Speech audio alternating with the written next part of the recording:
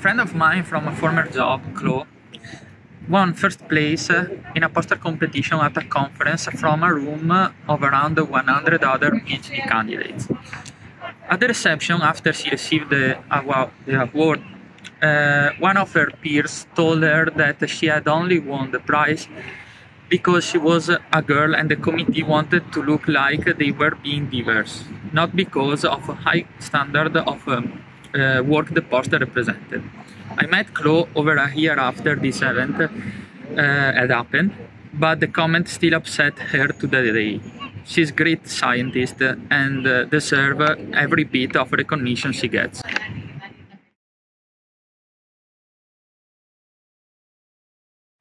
Quite some time ago, I was invited to give a lecture at a conference. The date clashed with another invitation I had already accepted and thus proposed one of my senior research fellows for the invited talk. The answer I got by email was, I know he's an expert, but we will not get funding from the XX Society if we do not invite a woman. Sometime later, I was invited to be part of a PhD defense and again clashed, clashed with my agenda. I proposed a senior researcher in my group you might guess the answer. I know he's a true expert, but we need to have a woman in the committee. After several of these events, nowadays when I get an invitation, I openly ask, are you inviting me because of my expertise or because you need to fill the quota? Extract from a longer story. I have felt many times that the way I looked was under scrutiny when I was presenting myself in a professional environment, way more than I considered appropriate. As a scientist, I always had to make an extra effort to look professional, not over nor, nor underdressed, and even more so with makeup. Female scientists that look good are judged. Those who don't care about their appearance are also judged. Women do not have the freedom to give a talk with a Simpson or Metallica t-shirt or with crazy hair. They need to be perfectly balanced. Balance their look to start being listened to and taken seriously is another thing which is something that doesn't happen to male scientists.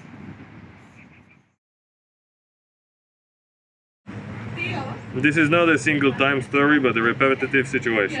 As a woman, many times I have been considered incapable of doing physical work, or I have been treated as, I, as I, if I couldn't do physical effort. Sometimes it was directly said, or sometimes it was expressed as a compliment, as if it was very surprising to see a woman lifting 5 kilogram box.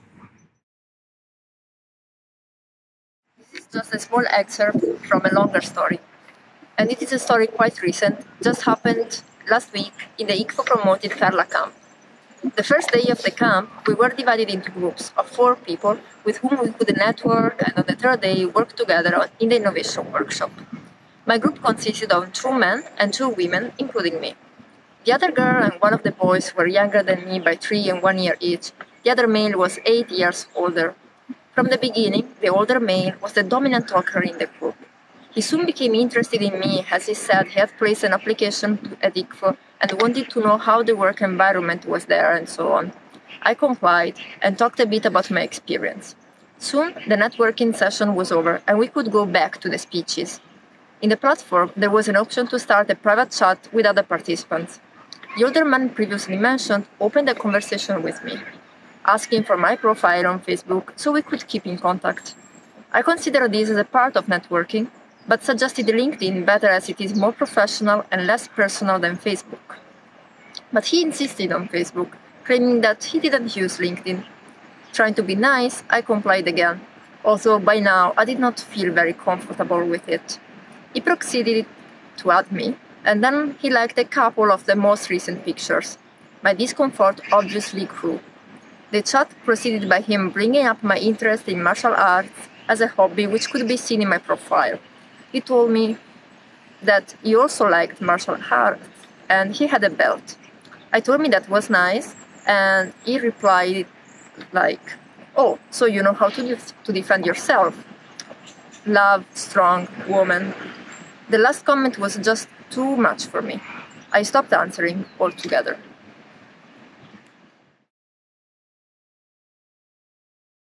Once in a conference, during a coffee break, I ended up in a conversation where there was one of the organizers of the series of conferences. At some point, the rest of the people in the group went for another cup of coffee, and I was left alone with him. He then started telling me about the section in his personal website where he published photos of him with nice girls he met all around the world. He even had a subsection called Garden of Eden, where he collected the photos with two girls. He told me that I was pretty and that he wished I could appear in his collection. Still, he said, it would have been better to take the photo on the following day, during the conference dinner, where I would have been a lot prettier. Luckily, that offered me a nice escape, and needless to say, I did everything I could to avoid him during dinner. I'm a male. A few years ago, I was in a conference dinner, and a woman approached me to take to make small talk. I recognized her from the hotel lobby the day before, when she arrived in company of a man, and both made the registration together. In my biased mind, I thought, okay, they are a couple. He's coming to the conference, and she joined him for some tourism. So, back with her at dinner, and without giving any thought, I just spouted, So, you are here with your husband? To which she answered, No, I came here to present my work.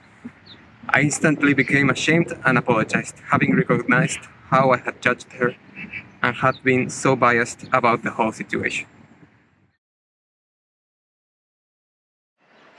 It's not a story about discrimination, but rather how a small change can have a huge impact. In Serbia, the majority of senior researchers are women. The reason is very simple Serbia has generous, fully paid maternity leave, and there are no career penalties for taking the entire leave, up to one year of time.